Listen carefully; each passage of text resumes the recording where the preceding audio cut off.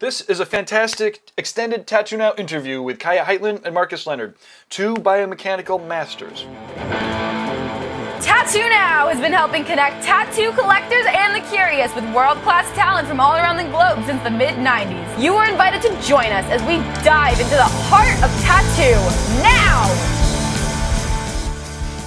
They cover a wide variety of topics, including all the science fiction, books, and movies that help inspire some of their visions.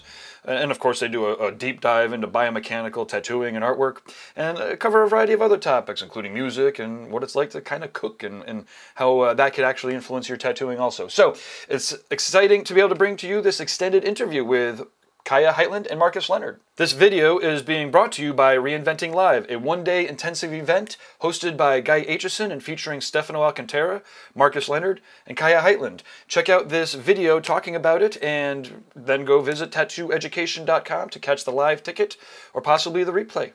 Cheers! Enjoy!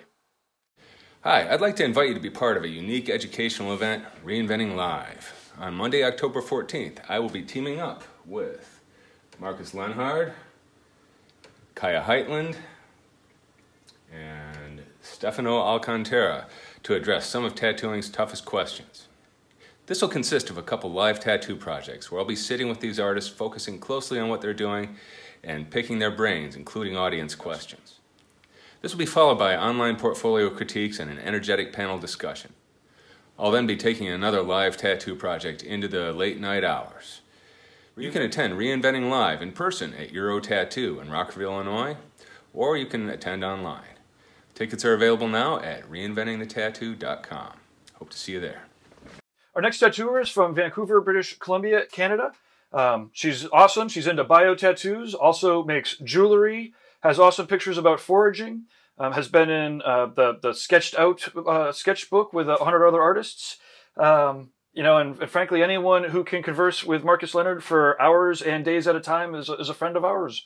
Um, on Instagram, it's at Tattoos by Miss Kaija, uh, mm-hmm. T A T T O O S B Y M I S S K A I J A. Uh, I'm gonna try to I'm gonna pronounce it right. Kaija Heitland, how are you? Yeah, I'm doing really well. I'm awesome. doing well, super well. well. well. thanks for uh, for coming on the show, and uh, let's let's start with some softballs. Uh, do you mind talking about the maybe the Canadian tattoo scene a little bit and, and how you got into it? Oh, sure, of course. Um, I started uh, tattooing just over 10 years ago uh, on the Sunshine Coast, which is just outside of Vancouver. Super small town, uh, no other tattoo shops except the one in Sechelt. And uh, I got a summer job working there when I was like 17. And uh, the guys both kind of partied a little bit and needed somebody to do line drawings for them in the morning. So uh, that's how I uh, showed that I was good enough to to draw at least. And uh, so I put together put together a little bit of a portfolio, and uh, they took me on. Piot Barker and Sean Headley was working there at the time. Um, and then a year later, a machine builder named Jesse Young bought the shop, so he kind of bought me along with the shop. He never wanted an hmm. apprentice, and kind of uh, yeah, I was kind of part of the package deal. So I ended up apprenticing under Jesse Young. Awesome. And uh, how much uh, preparation or how much art training did you have before you landed the apprenticeship? Ooh, uh, none. Uh, besides, um, like yeah, besides drawing as a kid and stuff like that, tons like tons of art, um, uh, extracurricular stuff when I was a kid, like uh, painting classes, and I was always super into jewelry. Like I've been making jewelry since I was really young, super entrepreneurial with that. Um, and parents who were very, very encouraging and put me in every art program, but not necessarily anything formal. Like it wasn't directed. Sure. So. 17 is pretty young to get into a tattoo shop. How old were the dudes? Uh, uh, they were both in their like mid 30s at the time. Yeah. Awesome. Yeah, they're both in, both in their like late 40s now, mid to late 40s. So. About how long did it take before you were uh, tattooing on the public?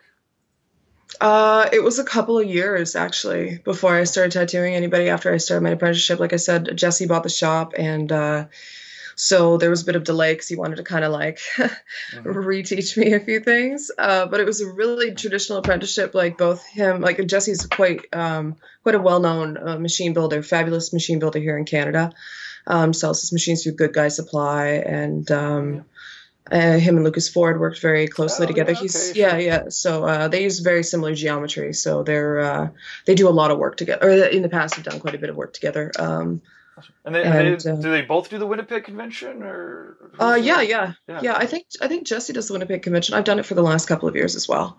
Yeah, cool. Uh, Always seems but, like a stellar um, lineup. Oh yeah, it's phenomenal. It's a phenomenal show, and uh, Rich, the guy who puts it on, is uh, uh, second to none. Like his uh, his ability to uh, his promotional abilities are fantastic. Like great personality. Like ideal for our community here in Canada to be putting on a show because he just he knows everybody. He's so charismatic and so uh, just super welcoming. Like he really wanted to put together a really family oriented show. So yeah, awesome. like it is a, a little star studded um, and a little intimidating for that reason. But like it's it's very close. We're all very close here in Canada. Like our our community is. Uh, is uh, traditional in that sense. We have a lot of traditional values that kind of seep into our tattoo community. Yeah, it's cool. I remember he uh, uh, got mad at me a couple years ago, and uh, you know I'm a kind of a techie kind of non-tattooer guys, so it's easy to, to yeah, yeah. get mad at me, I suppose. But uh, it was fun. You could tell that obviously it was coming from a place of authentic, you know, love of tattooing. And, yeah, for uh, sure. You know, for me, I feel like I also have that same love. So you know, eventually it always works out in the wash. so like you know, like I said, I appreciate sometimes. Um, you know, when people get very, very protective, um, you know, of what's what's sacred and awesome, and, and you could tell like from mm. his show that uh, obviously there's a lot of care and love of, of the craft in it. A huge amount. Yeah.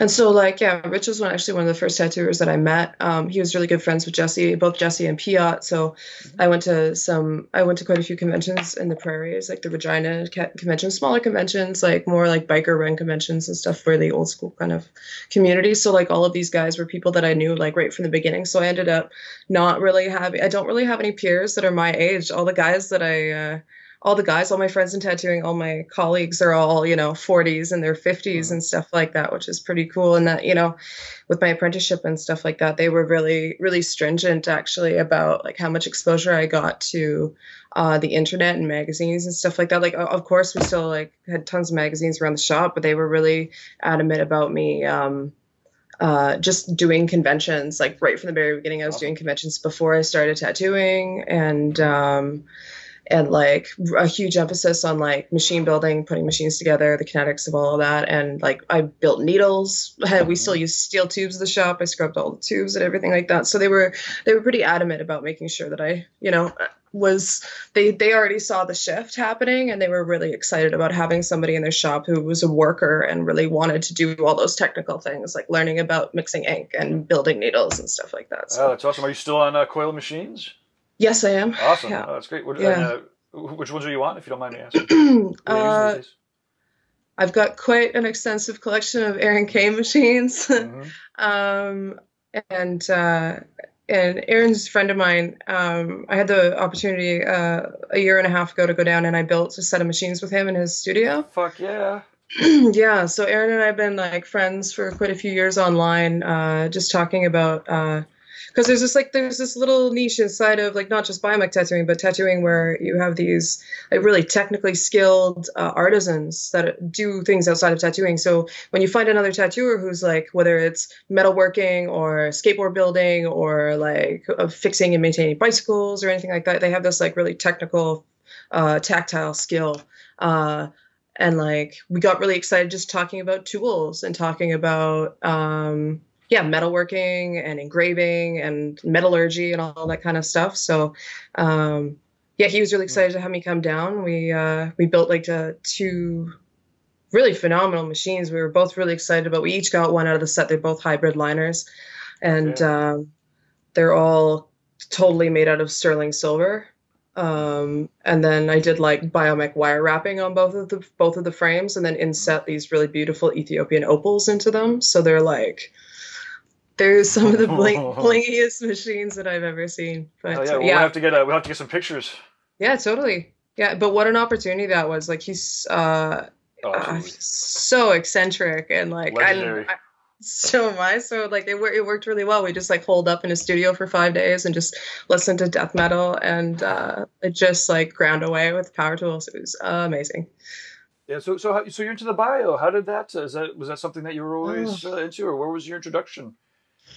Uh, you know what? Honestly, bio and like bio from the 90s and tribal were the two things that made me want to get into tattooing in the first place those are the two things that i i think probably resonate with the most mm-hmm. um as far as uh like just fit and flow those are two things that always attracted me to tattooing i wasn't ever really interested in doing uh, small tattoos but i mean for the majority of my career that's what i've done is small tattoos being generally being the only woman in a tattoo shop you get uh you are afforded a very particular clientele, usually, right? Uh, mm-hmm. Uh, so, which, uh, which, I mean, that laid all the groundwork for all my technical skill that I think that I have, um, and uh, that you have. For- um, but that's obviously all based on yeah doing small small tattoos and stuff but my big interest was the idea that you could uh, that you could lay out a bodysuit on somebody. That was the coolest thing in the world. And like the only two real types of bodysuits that I saw, um, like when I was in high school when I was growing up, was uh, um, was biomech and tribal. Those are the two things that I absolutely like. Guy stuff, obviously. Like my dad got my dad when I was still living at home. My dad got me a copy of Organica in oh, 2004, awesome. the year that it came out, and he gave it to me for my birthday. Oh shit! I've got it. It's like yeah, right around the corner here. It's fucking yeah and I was like, mm. and just how excited I was. Like I, uh, but that was like one of my first introductions to like tattooers who were also artists as well. Mm-hmm. Um, and my dad just he had seen this book and I was super into mycology. I absolutely love mushrooms and mushroom foraging and stuff. And he just recognized right away like all of that like uh, mycelial structure and fungus and and mm-hmm. all this stuff in Guy's work. And he thought I would absolutely love it. So like Guy's book that that one in particular and the like all the uh, reinventing stuff and uh, yeah, obviously, like those those I got all those books before I started tattooing. Awesome. Yeah, before I ever got a job in a tattoo shop, like uh-huh. that was so I was kind of always what I want to do. And then Aaron's stuff, obviously, I was kind of obsessed with too when I was like 15, 16, uh, and just drawing in high school. Like, lo- absolutely loved Aaron's stuff. Yeah, do you remember the uh, Tattoo Wars with Aaron Cain and Guy? The TV show. That's, Oh no, I was uh, I uh, I've never actually seen any of it, but uh, oh, it's awesome. If uh, you yeah. go on YouTube, you do a search for Tattoo Wars, Aaron Cain and Guy Aitchison. They uh, it was at maybe a Hill City in Arizona. Yeah, and uh, they both worked on arms. Markus was there. I think I might have. Uh, yeah, I'm familiar with it. I just have never. I mean, like, there's so much to digest uh, media wise. It's you know, um, it's it's been on the list for a few years. Yeah, I just cool. haven't gotten around to it. So. Awesome. The um, Cool. So, uh, what kind of tools are do you use for for your for your tattooing? Are you a digital person? You still do everything uh, uh, on paper or in canvas, or, or no. what kind of other original uh, mediums are you using? Well, uh, for tattooing, I very recently, like within the last year, got myself an iPad. Mm-hmm and uh, it's really revolutionized the way that I do my drawings for my tattoos because now I never finish drawing. I basically do like rough sketches and then I pull the line work off, and uh, I can do like really, really intricate, really elaborate line drawings where I don't have to spend this huge amount of time doing a full illustration because I definitely like in tattooing. Like both the guys that train me to tattoo are like super talented illustrators, like comic booky, uh, really natural um, artists. Like both of them are phenomenal artists, even though they're you know very traditional as far as tattooing is tattooing goes and uh, and I was encouraged to absolutely draw and render and do color studies for absolutely everything. And now especially with biomech digital just makes all the sense in the world mm. to be able to um, to manipulate do a really simple sketch and then cut and paste and everything like that. It makes a way more sense to be able to do that digitally. You, you save so much time and with the amount of traveling that i do there's there's no comparison. Like i don't have to bring a giant sketchbook and like a pack of pencils, my pencil sharpener. Like trying to sharpen a pencil on a plane mm-hmm. is just one of the banes of my existence. Uh-huh. And I never have to do that again. Like having an iPad and like being able to bring everything with you and and I do like some uh, like digital like logo design and sticker design and stuff like that for like outside of tattooing as well. Like I do a little bit of um, like graphic design for people as well. So it it uh, it's way easier designing a logo on a iPad than on paper and doing like rendered sketches for somebody sure. who's probably gonna, you know, only pick one. So oh, yeah, yeah, I definitely I'm I'm I don't I don't illustrate as much anymore. Um by hand, I really want to get back into that. But painting, I do a ton of painting. Awesome. Uh, oils or acrylics?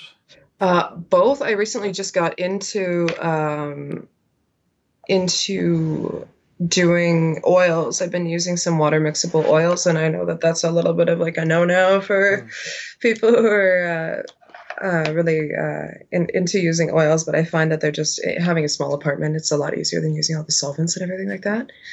Sure. Um, but yeah, I love I love painting in acrylics. Like I've painted in watercolor and acrylic most of my life, um, and uh, and now uh, having somebody to paint with uh, is pretty pretty amazing too. So um, actually being able to do like collaborative sculpture and then painting it and then um, being able to paint on canvas with Markus is pretty remarkable. Awesome. It's something that he doesn't have a lot of background in, so it's nice to like kind of pull him into that a bit. Into, into the real world? Should we pull him into the uh, to the interview now? Yeah, that's what I'm thinking. Or, uh...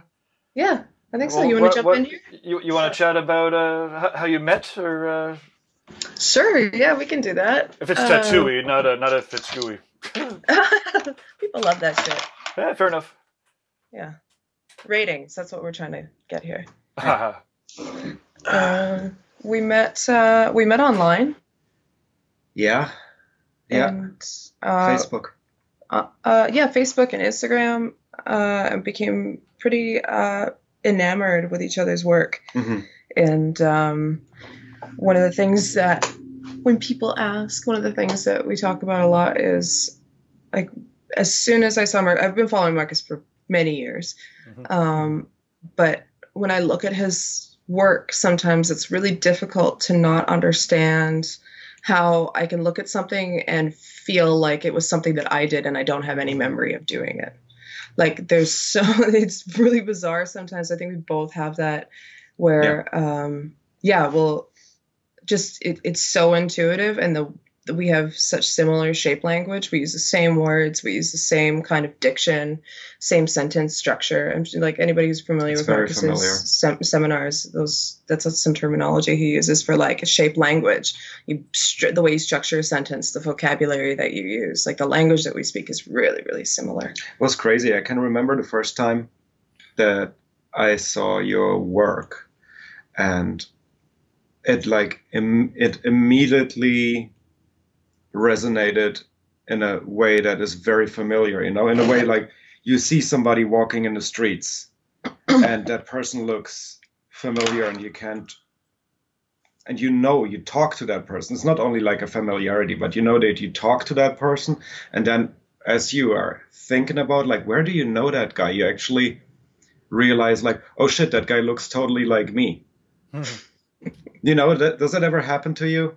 You know, where you where you look at somebody and you realize way later because you're not used to seeing yourself, right? You're not used to having like an outside uh, view on yourself. Expect if you see yourself on video all the time, and uh, I saw I saw some of her sketches for the first time. I was like, holy shit, that looks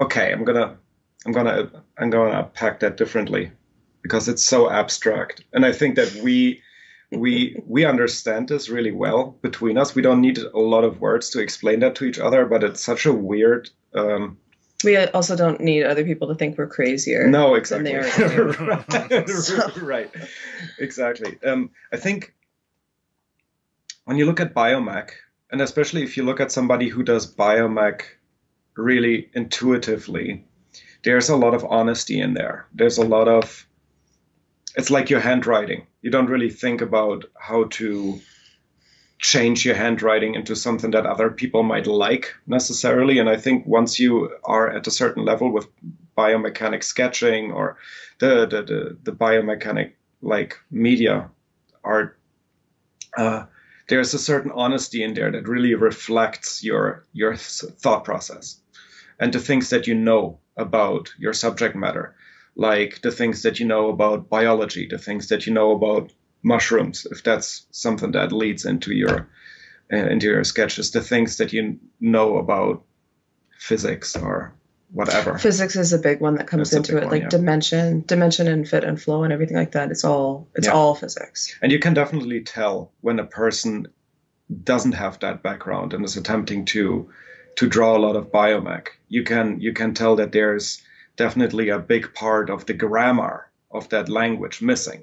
And if the It's grammar is missing, things look a little it- skewed and scrambled. You can understand it, but it doesn't. It's not elegant necessarily. It's a really hard thing to reverse engineer. yeah. and that's like and it's it's not impossible at all like you can totally start by like learning you can start by learning like texture and general shapes and stuff like that but unless you like unless you have that kind of concept of of where everything is coming from you are actually just saying a bunch of words you're not Right. It's, it's very Makes na- nature's very like there. equation-y. Yes. yeah so yes, it's very uh, it's and it's so formulaic that's the uh, thing too it's like one equation-y. equationy it's yeah You make up words. it's extremely it's extremely equationy but like just the way like you um something clicks. And i think that even just since i've been in uh working kind of in in the biomech community because that's what it is. It's like this lovely little um subset um of nerds and uh, scientists and uh just the fringe of the fringe really. Yeah. um, and since I've been working in that, it's really interesting to like see individual people who are like how hard they work, and then all of a sudden one day it totally clicks and Yeah. they just get it. Yeah. And then all of a sudden they're doing like holy shit, Things are falling into place. you totally it's just see like it, learning, and it's like instantly like you once once you gain enough vocabulary, it's like one day you're able to like order coffee at a at a store at a shop, and it's mm-hmm. Yeah. it's exactly what it's. Like. And then at some point you'll be elegant too like once you actually feel like okay now i can actually use this language to speak and i am understood then you can start working on your poetry skills. Mm. and i just wanted to go back um, and why we went on this tan- tangent at all right?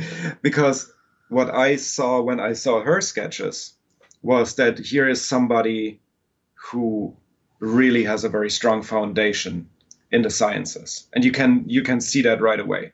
There's a very good foundation in the grammar of this language and that immediately spoke to me. And the things that she expressed in this language were very very similar to the things that i like to express in that same language. And i was immediately drawn to that. It looked so familiar. It looked so you know and like to outside people you know there's sometimes there's there's sometimes moments where it's hard to tell our our styles like to to to tell exactly where the break line is where one stops and the other starts there's there's a lot of of overlap even though we didn't even know each other.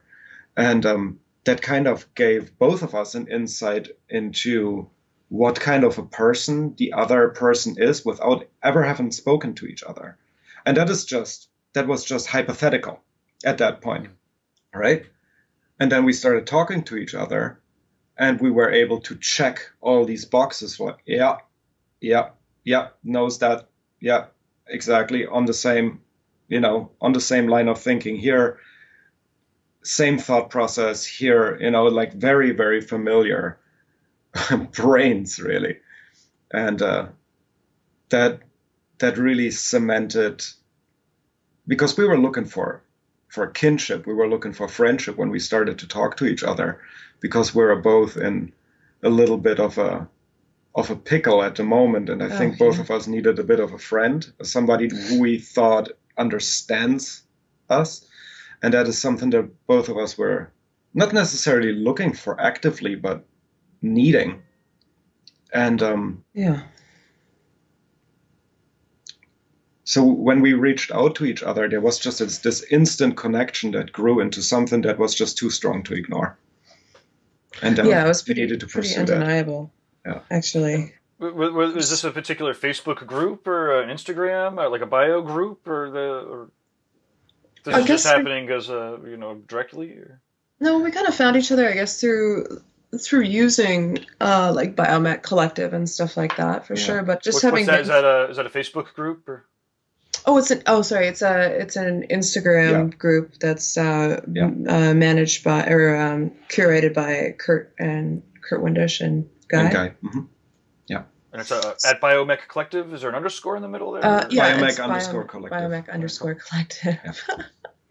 Yeah. and that's where that's where uh, a lot of us nerds hang out.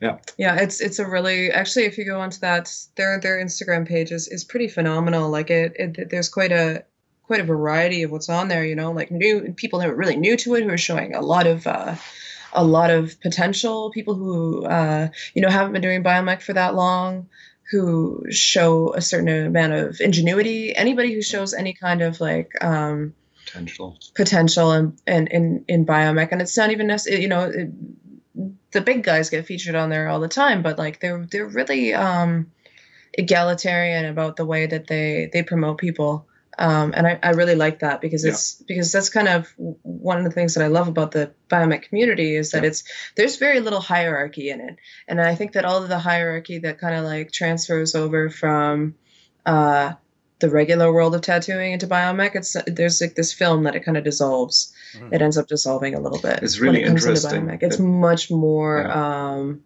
integrated community like It's really because we're so small that there's there's no there's uh there's really no um a room for For hierarchy. yeah hierarchy might maybe There's that's not the right word like it's there's there's not as i don't find that there's as much um It's also a total sausage party. oh yeah yeah when uh when markus first saw my stuff he was like who is this guy Yeah, who is this guy? It's pretty good stuff. Like, holy shit, that's a girl. Oh, she's cute too. Uh, Oh. Woman. Yeah. yeah there's there's That's not awesome. very many of us we need more hierarchy now. a woman Uh, entered the room. Agreed. I I, mean, there- uh, is- is- what, what can we do to uh, to help solve that? And are there others, uh, other women bio tattooers that we could be plugging right now? Or oh Um, off the top of my head, uh, there's yeah there- well, there's, there's a couple. definitely i don't necessarily see it as a problem though that needs to be solved right i think that people come to biomech very naturally and if you have a proclivity to it like there's there's no real way that you're going to get around it. You're going to find yourself there. Like it took me almost like 10 years of tattooing to realize that i was supposed to be doing biomech the entire time and i t- it came full circle. I totally came back to it. It was the stuff that i had wanted to do since the very beginning and uh I uh, I really think that like the people who come into biomech, like I would totally encourage people to do it because it's like obviously you want to try out as many different styles as you possibly can until you find that perfect fit for you. Um, but I don't necessarily see it as a problem. I don't. I think people come to it when they when they have a spark. Like there's so many people that I know that'll just do a one-off ta- biomech tattoo that's fucking amazing. Yeah. And then they never do it again. Yeah. You know, but there is definitely um, And then there's people who want to do biomech who struggle and struggle and struggle to do something amazing. And they and you Yeah. know, and and they never really get it because they want it so much that they don't do anything else. And you need to do other you stuff to to be good things. at biomech. Yeah. That's the you that's really, the most important other thing. technical skills that are just Yeah. so necessary for executing. it's nothing biomech. because biomech is nothing specific. It's But- so unspecific that it needs to be informed by other things but, but Markus, I. I, I heard that the the white wing tattoo was the first tattoo that you ever did. That uh, w- w- in Germany, when you were asked to do a name tattoo, you you hi- you went straight to, to the Netherlands. Yes, exactly. And I told that guy, that's not what you want. You need to be an angel. yeah, but no, I understand. Yeah, absolutely. It's No. it's Um, amazing that um, so many people will try to skip past, you know, those fundamental tattoos again, where you're just building that technical skill of like how you know how how these holes that I'm poking into the skin heal. Yeah. And and I I tried to do the same. I know I'm not taking myself out of that equation. It made me really, it made me really uh, unhappy for a very long time. And then I started to do other stuff, and all of a sudden my biomech improved. That's that's the point, right? hmm But uh, Uh, but but getting back to Yeah. uh, women in biomech, Yes. I think that that's a really interesting topic. It's something that we talk about a lot actually because um, there's a lot of uh, uh, well, there's a lot of biological factors that really uh, have a huge impact on the type of art that you're attracted to Sure. and your your abilities and stuff. And it doesn't have to necessarily do with uh, with technical skill. Like um, we really do notice, I think that there's a lot of androgyny in um, in biomech. Mhm. Like there's something very uh, uh, non-genderized about definitely like biomech itself. Like the whole idea of biomechanics is is very uh, non-polarized. I think it's really androgynous. But So- uh, but in that way, wouldn't it be more just naturally equal with a, a number of women and men doing the, the art if it was if it's gender No. neutral? No, I think I think that men are by nature programmed to be more visual. Yeah, we that's we talk about visual acuity a lot, especially when it pertains to stuff something that's like so visceral as tattooing or as uh, as biomech tattooing. because it's it, there's an eroticism to it. And so men are a lot more have have a bit much stronger visual sexual acuity, whereas women tend to have a much stronger um, all-encompassing emotional response to that type of thing. So the whole idea, like the, when we talk about it, like as a thought experiment, more narrative. there there needs to be more narrative and and when when you look at a biomech tattoo it's it's something that's that's so visually impactful that the, there isn't really a need for an explanation in a really good biomech tattoo because the fact that it does all that it has to do is make sense it doesn't have to mean it doesn't have to necessarily have a narrative all it has to do is make sense uh, using yeah those laws of physics and stuff Yeah. like that when you look at a a Yeah. good solid biomech tattoo so like i think that just generally women are a little bit more drawn to art that uh yeah definitely has uh eyes and hands and faces and stuff like that for sure i mean like that's that's just an example but i think that there's more there's Things more storytelling there and i something think that you can name. Yeah, you can name it, You can you can, name it. uh, Something has a face. Something looks back at you, or something has a name. Uh, something that exists, not necessarily just the because it's so foundational, right? It's like so structural, and it's just like if you think about physics, it's super foundational. You know, once you get into biology, you have a lot more narrative, and then what's next from biology is history and you know and, soft science yeah, and and, and, and uh, the soft sciences exactly right. But when I'm thinking about biomech, I'm thinking math, I'm thinking physics. I'm not, and then you kind of skip the whole chemistry part, and then you think about biology. But for me, the whole biology aspect is not really even that big. I just think about movement and and weight and we're and speed and, and and again we're talking Velocity. about like very like base biological imperatives like Yes. it, it's it's not a conscious thing at all i think that there are more men in biomech tattooing just because it's just again i don't know i can't use a better word for it it's just like there's better men have better visual acuity when it comes to things like sex and eroticism and and like the erogenous feel that that that biomech tattooing does have. I mean like there's no real denying that. I mean as much as spiky and as alien like as as spaceshipy as you can make stuff there's something extremely erotic about it. And i think that part of that is because it's in the word biomechanics. It has to do with the physicality of it. Yes. it has to do with like how satisfying a biomech tattoo is when you fit it on somebody and it follows every line that you possibly could have followed in the body. Yeah. There's something extremely erotic about that because it it it it, it it's so transformative. It's it's not something on somebody's body. It's literally not that. It's not a tattoo on somebody. and and I think that also the lore that biomech is coming from, the the way that you get introduced into it over science fiction, uh, the Giger artwork, uh, the a- alien, undertones. like all of that. But Mhm. I, I think there's also more boys are drawn to that kind of stuff early in life than girls. I think most girls are not really encouraged to get into science fiction, at least not back then. Maybe now it's way more the Yeah. case. But back when I grew up, when you grew up, that was not as much the case that you had uh, girls really getting into horror movies, alien, uh, uh, science fiction, And I And- that's totally what I grew up on. and that's what you my grew dad's a up with. biochemist. So that's that's that's and, that's another uh, angle to it. yeah. You know grew up on that old science fiction, uh, like weird Exactly. dystopian, post-apocalyptic science fiction. That's Exactly, what I- right. Well, and- let's uh, let's let's give uh, the viewers a little bit of a, of a list of some of these, uh, you know, canon sci-fi movies. oh yes, all of the cool. things. Well, I mean, there's some pretty obvious ones. Yeah, Oh, I thought you were going to go and get a list. You looked like you were getting. I, I was just I thought I had one, but I'm not at home.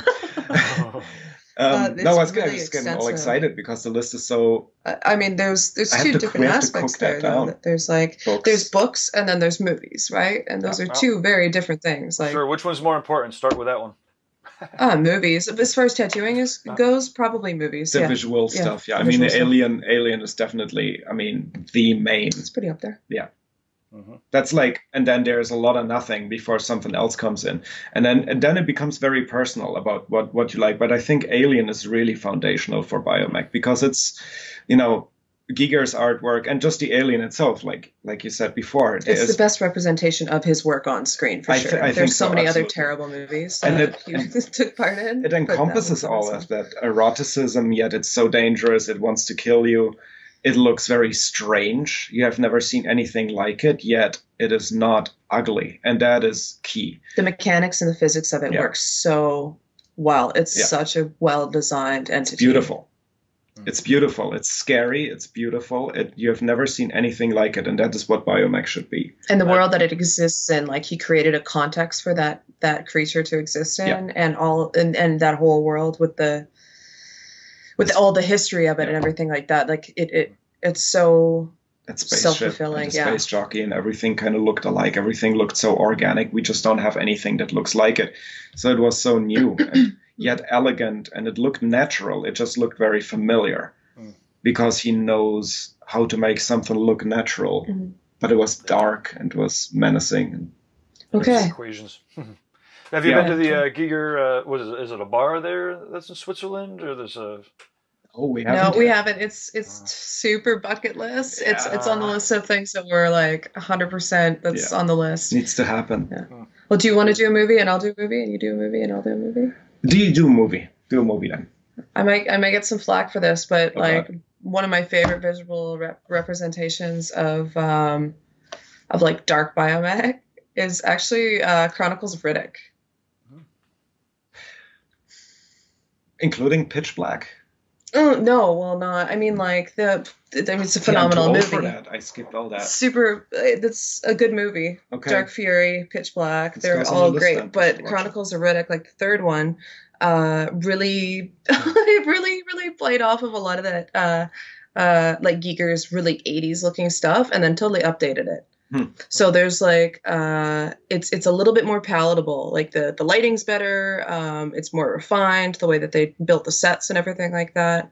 It's kind of like all that Giger stuff. But I really love it. It's got this like I really- haven't- I- it's I got a really cool like edgy space wizardy occult feel to it. didn't make a memory Yeah, I don't know if it's a movie that you've seen. I haven't. No, no. Otherwise, I'd be uh, piping in a little. I mean, like it's it's Vin Diesel. I'll watch it It's now. some- that's only going to get you so far. But the, the the visual aspect of that movie, like everything is so beautifully designed. Like the lighting is amazing, and uh, they really yeah updated that like 80s, Yeah. I mean, there's so many to choose from. If I go, but specifically Biomech. I mean, films. not it's not specifically biomech, but Or the sci-fi. aesthetics that really, well, Blade Runner. well, Mm. And the new one. I mean, the old one's one of our favorite things. no, I was gonna, world. s- I was gonna say 2001: Space Odyssey, just for the aesthetics of it, just for Yeah. for the feel of what I feel space travel is like. You know that that kind of loneliness and the the, the time frame and the time that the movie takes and everything. The physics are actually they they got the physics They physics really right, hold which up. yes, And that movie it holds up. It holds up so well. That's pretty amazing. But um, The Blade Runners, man, holy Moses. Yeah, visually, like the new Blade Runner is absolutely stunning. It's beautiful. Mm, Great soundtrack too, cinematography. of course. The, uh, Oh. Yeah. Yeah, yeah. Yeah. Amazing. Is that Jóhann Jóhannsson? mhm. Yeah. Yeah, his stuff we're No, no, it's No. not. No, it's not. the new Oh, one's he just uh, has Hans Zimmer, yeah, I yeah, believe. Yeah, Yeah. yeah. Jóhann exactly. Jóhannsson does have That the was a ri- last track though in the yeah in the he- credits, and I waited the whole I waited Oh. through the credits to actually listen to it. That's right. It's only one track. Oh, okay. But like Markus likes 2001 so much that our Google Home he had to change to the male voice so that it sounded more like Hal, Like and he talks to it way more now. Yeah, Nice. I um, You, you talk to your house? Is it you have like a Siri or a? Uh, I ta- talk to Alexa? the house. The Yeah, Goo- no. Google, Google. a Google. Google Home. Google is a little bit more benign than Apple, in my in my opinion. you, you It think? doesn't- Well, it's also a little bit more. Um, We're not trading in state secrets. Uh-huh. I'm not well, worried about that, it. But it, I, I think it's well. A, I think it's more benign. I think Apple. Also, I feel like Apple is really insulting our intellect. and uh, it's just Apple steers you into a direction that is in their interest way too much. But we don't need to get into that. I have a whole huge opinion on Apple. Uh, Um, yes, I- we'll, we'll save that for a geek discussion panel in the Yeah, future. totally. Sure. Yeah. Um, But, uh, so Anything next, next uh, either either next movie or book. Yeah, books. Let's move on to. books. That's. I mean, Uh, for biomech stuff. ah, yeah, I have so much. Like, there's more in books for me than, Yeah, than, than in movies because then I get to paint it myself, right? Mhm. And there's just a couple of books that have a lot of potential to to fill in the gaps. Um, Uh, I all start like Arthur C. Clarke. oh, yeah. Definitely Rama. Mm, Rama. yeah. Rama's amazing. Rama too. Eh. Rama. Rama. It's definitely. Great. Rama um, 2 is weird. It's super weird. Uh, Robert Heinlein's work. I'm a huge fan. Hey, Mhm, dog. uh-huh. A huge fan of like Stranger in a Strange Land, Time Mhm. Enough for Love. Absolutely, fun. Like I grew up again reading science fiction with my dad. Colin Wilson. Um, that whole genre of just like when like really early science fiction. I love that. Everything was so new and these ideas that people were writing about were literally for the first time. Like I Yeah. it's it, these ideas are super raw and they're not fleshed out and it's not a movie. It's just a singular idea that a whole the whole premise of a book is is written on. I, I love that. Like it's Mhm. not Dune. Dune, of course, all Mhm. Frank Herbert stuff. Dune, Frank Herbert, Dune, Yeah, way up sure. there for me. Super, super important. Uh, Michael Crichton's work, obviously Andromeda Strain, and uh, Jurassic Park is my favorite novel of all time. Yeah, ever, Um, ever travels. Did you ever read travels of his? No, Like, uh, I didn't ever stories and. Uh, that guy's great. Awesome. Uh, yeah, I really love his writing. Really well researched. Alastair Reynolds, guy, guy, guy actually uh, um, just got, got me into Alastair Reynolds when we started um, hanging hanging out, and um, that was so compatible because it has everything that Arthur C, uh, Arthur C. Clarke brings to the brings to the game. That is like very sciencey and very well researched. Uh, uh, scientific knowledge and lots of biomech, lots of weird like Alastair Reynolds is ruthless in the way that he kills people. He's just Hmm. like, but he's using physics and he's using uh, uh, like just he's a he's an astronomer. He worked for ESA for a while, and he wrote uh, a book series called Revelation Space that is bringing everything together. Uh, uh, relativistic space battles, um, AI, um, things that go wrong with nanotechnology, where that's where the biomechanical stuff is coming in, uh, and physics, physics, physics, physics, and uh, relativity, and um, ah, man, those books are good. Those are still some of my favorite books that I've ever read. So um, I'm going to reread those pretty soon. But uh, yeah, lots of lots of really cool stuff in there. Holy shit! I wish that that would actually be turned into a movie at some point. But Uh, well, if we're, we're going on science fiction, I don't clearly I don't know uh, visually, but uh, Isaac Asimov and Foundation series and sure. the Robot series, those are for me. Uh, Yeah. Had a lot Yeah. to do with thinking about longevity and Yes. uh, and time and, and space and. But uh, and how about uh, some music, uh, Kaija? Do you have any uh, favorite playlists or uh, Uh, while you're tattooing? well, I'm tattooing. Well, I do uh, like when we're in the studio. It's a lot different than when I work at the shop because the shop that I work at, I work, I, I work at Sacred Heart. Sorry. Oh yeah, okay. Well, let's let, let's start there. Let's, Yeah, yeah. Two, two questions. Um, One, uh, where do you tattoo? How could people get tattooed by you? And what Um, kind of music could they expect oh. to, to be listening to? So our uh, our work right now is a little bit interesting because we are spread. We we live between Vancouver and Germany. We live between Vancouver and Berlin. So Yeah.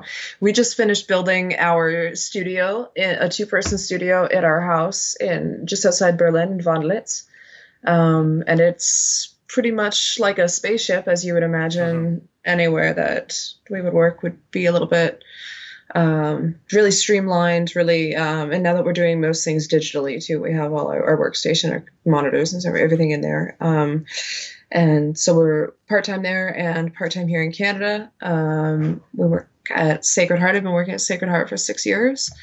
Uh, there are seven other tattooers that work there actually. So it's it's an absolutely phenomenally beautiful shop. It's a really beautiful shop. It's two really stories working and there. everything's glassed in. We have a huge patio on the back, barbecue, everything. Mm. Anybody Overlook we know, whole we love Yeah. having guest artists. Love it. There's tons of room for guest artists, and it's something that we really try to encourage as much as possible. Like, we love having people come visit Vancouver. We think it's a phenomenal city. Yeah. It's uh, really good clientele and stuff. So, uh, when we're here, we uh, we work at Sacred Heart, and um, so with having you know uh, seven eight other people to work with uh, it, it kind of depends on the day who's working what we get Sure. to listen to. Um, uh, while i'm working if i had my absolute dream day i would listen to very heavy metal the entire time. I like starting off my morning with a little bit of machine head or like born of osiris or uh, between the buried and me. Um, those are some of my go-to's first thing in the morning. Um, and then you know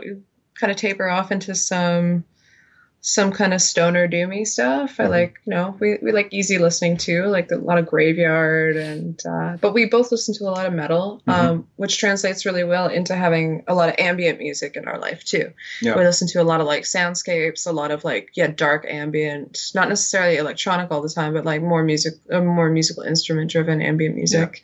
Yeah, like um, Nils Frahm and Yeah, uh, Nils Frahm lots of soundtracks, sci-fi soundtracks are amazing. Yeah, sci-fi soundtracks are amazing. Jóhann Jóhannsson already came Oh, up. yeah, phenomenal. Um, I'm just going through. and the then list right from here. that that that transitions really really nicely into uh, we listen to a lot of Scandinavian music. yeah, No, Lots of Vi- lots of Viking music, lots of uh, really dark, beautiful, resonant, um, long drawn out notes, lots of really heavy bass, like some synthesized stuff, but mostly really traditional music. Um, but yeah, like we we both really like that dark, um, ancient aspect to yeah, it. neoclassical, Yeah. like like Scandinavian inspired neoclassical stuff, and like yeah, something that is something that makes it easy to tattoo somebody to too, right? I mean, a, a lot of my musical taste personally comes from having to adjust my playlists to the needs of somebody who is getting tattooed for three days in a row, right?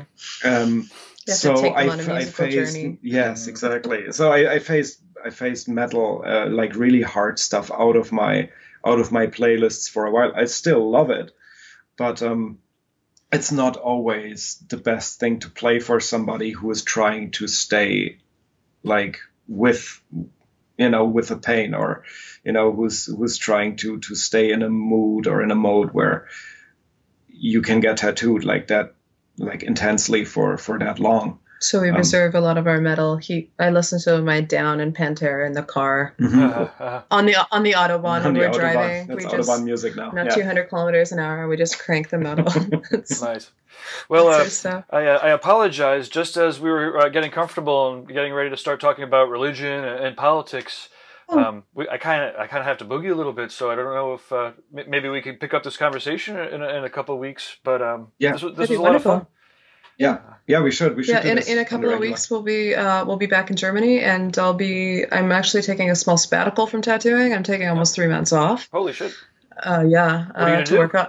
I'm working on my cookbook. I'm writing a cookbook. Awesome. So I have a separate whole Instagram account for that as well. Um, oh, let's hear about it. What is oh, it? it's it's called Of the Farm and Field, and it's uh it's it's stories and recipes from like living and fa- I used to farm and hunt in the Pacific Northwest. I had a farm, a duck farm, and raised chickens and vegetables and stuff. So it's all stories from living in the bush and hunting and smoking meat and foraging in Ah. the forest. So Brilliant. Oh, well, it'll be amazing. Well, yeah, we'll definitely have to catch up when you're in the middle of that. Would love Yeah. it. Oh yeah, Yeah, there's you- a lot we'll, more to We'll like pod. We'll uh, stream from the kitchen. I'll just sit there and prepare whatever. I'll talk all about hunting and all of our new friends in Germany. Awesome. Hell yeah. Yeah. We did a uh, um, in one of our previous podcasts. Uh, there was a, a a butcher who showed us how to Oh, make awesome. pasta. You know, it was an Italian pasta uh, recipe. You know, obviously to add the, the, the great meat to. But, uh, Yeah. it's fun. I love we love uh, branching out into all the different nooks and crannies. Oh my of, uh, God, of yeah. I'll talk talk about tattooing all day while I make food. I love that. That's my Yeah. favorite thing to do. Like, everything glass is of very- and everything is very interconnected with all the things that we do in our free time. Everything is like we yeah, we take everything back into the visual, even though sometimes it's very poetic, even though sometimes it's very conceptual. But everything that we do is storytelling, and Yeah. food fits really, really well into there. There is a narrative there that's that's just intuitive. It doesn't have to be explained, Yes. and people just understand it inherently. Like it's all storytelling. The other Yeah. thing I've noticed is that uh, you know when people are as talented as, as you two, uh, the people that seek you out uh, are often best in class, or they seek best in class. So like, you know, obviously there's a lot of chefs, you know, a lot of amazing chefs that are that are you know tattoo clients of, of awesome tattoos. Mm-hmm. Oh, yeah. And, uh, one of the things I love about traveling around with a tattoo circuit is you always end up at like awesome restaurants and Always, you know the yeah. best clubs, and uh, it really is a, a, a fun way to kind of skip right to the like like Yeah. like I don't really encourage many people to be snobs,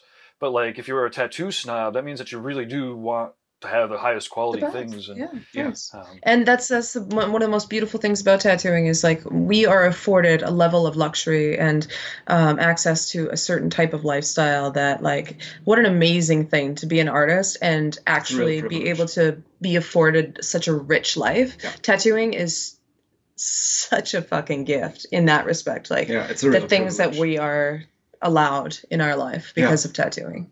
agreed wholeheartedly. Yeah. Very thankful. Yes. Awesome. Well, uh, well, cheers. Any any last words or uh, Uh, It's up to you. Quick? You're on mean- the spot. Say something I know, wise. right? Um, no, we're just really excited about this next phase in our life, uh, starting up the new studio. I'm taking that sabbatical, so uh, for the for my cookbook, and uh, so all of our clients are actually our test kitchen for that. So they get tattooed by Markus, and they get two meals a day at our new studio, and we're really trying to do something super different. So I'm just really excited about yeah, like getting all this feedback from the food and everything, and getting to actually work alongside. Um, Markus on a daily basis and and really see the transition into our new our new life together. Yeah. So It's all everything is very lots of harmony. Yeah. Yeah. Perfect. Cool. Well, uh, well, thanks again, and uh, yeah, let's uh, we'll catch up. Hopefully, people will either uh, find you in Germany or, or in British Columbia, and uh, or on the internet. perfect. Thank you so much. This is really really fun. Yeah. Cheers. Thanks for the opportunity again. Oh, absolutely. Agreed wholeheartedly. It was a lot of fun, and uh, like I said, we'll, we'll do it again sometime. Awesome. Thanks. guys. Cheers. Have fun. Thank Okay. you. Bye.